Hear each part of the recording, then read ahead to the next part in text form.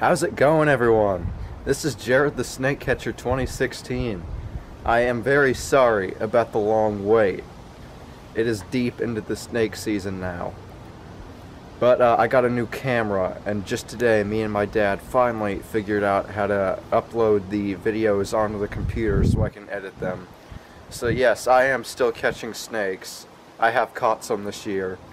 And this video is the first view I caught in 2016. So, I can finally start making you guys some videos again.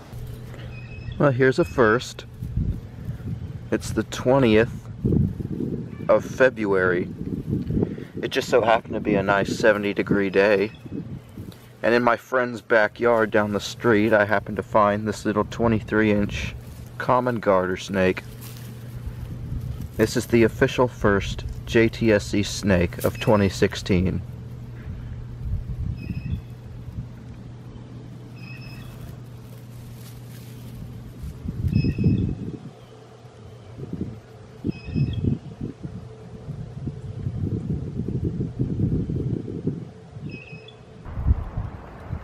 Here is the year's second snake.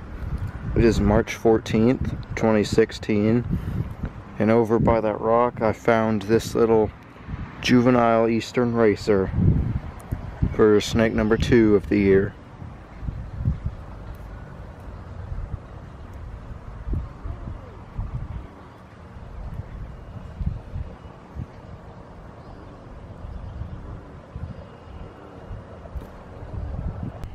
Here's the year's first ringneck. Just found right here where some of these big rocks were. There was a lot more under there, but I was only able to grab this one. I'm gonna measure him here in a minute. He measures out at seven and three fourths inches. Watch so they can just disappear.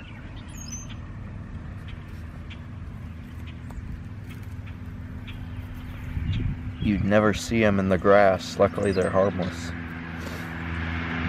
And I'm gonna, probably more under here, but I can't lift these rocks, but I'm gonna go keep looking for some more. One lone ringneck under this giant rock. He is 11 inches. So I'm gonna flip this rock back over if, if I even can and let him go back under it. Second ringneck of the year. This one, along with the first one, were caught on March 12th. Now this is actually a first for me. This ring neck under this rock right here I just found has actually flipped over to play dead. They are known for doing this, but this is the first time I've ever actually had one do this. I've caught hundreds of these. He's clearly not dead. He's still twitching and moving around, but this is something they're known for doing. I'm gonna measure him right here. I'll get back to you with the measurement. Measurements say he is seven inches.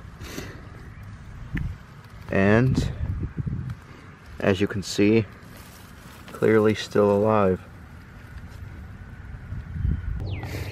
I haven't looked at this rock yet, but I bet you there's a lot of ringnecks under it. Here we go.